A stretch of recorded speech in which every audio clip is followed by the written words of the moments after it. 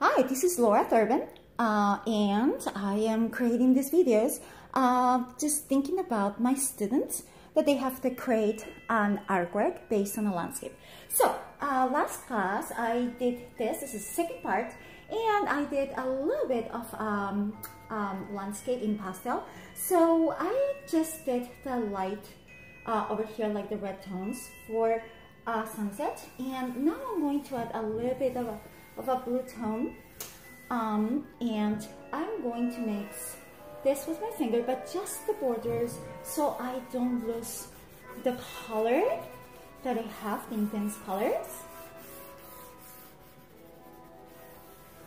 And um, I'm going to go ahead and add a little bit of that tone over here. And over here. And I'm going to go ahead and mix just the border so I don't make a mess of the color and don't mess up my blue but I just give it a little bit of a mix. And then what I'm going to do is, um, so it looks a little more natural, I'm going to add in between a little of that blue to soften those red tones that are a little wild right now.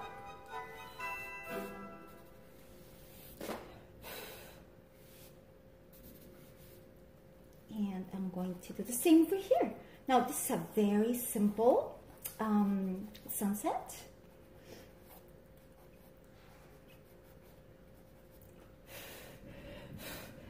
And uh, what I'm gonna do so um, it looks a little more natural, I can go ahead and add a little bit of light. It can be with an off-white, just a little tiny bit of off white. So it adds a little bit of two-dimensionality, just a little bit here and there. And I want to go ahead and now I'm going to start with uh, the water, the reflection of the water. But first, I want to fix this because it doesn't look like a circle anymore.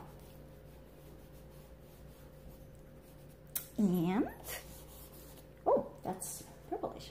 Here we go. What I'm going to do is, I am going to put some light. I really like this blue. So it kind of is going to be the reflection of the water. But at the same time, I want to change that into a more greenish tone. And then I'm going to mix it, but without losing my reflect reflection of the light. And I'm going to stop right there. Until next one.